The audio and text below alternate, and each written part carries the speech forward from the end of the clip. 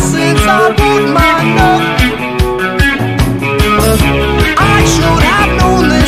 an